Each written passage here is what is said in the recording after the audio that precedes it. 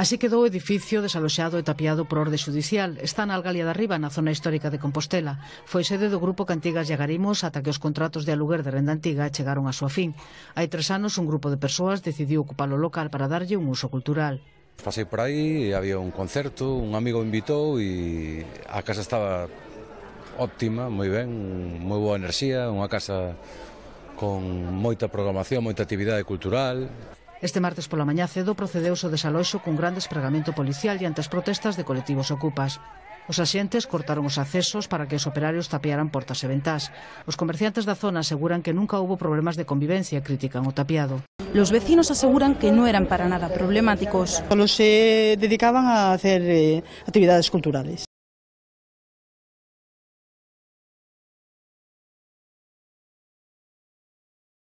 Sucesos violentos de ayer me parecen tremendos, o sea, en contra absolutamente. Pero también yo que tengo la tienda aquí, por la mañana esto parecía como que hubiera una cédula yihadista, de verdad.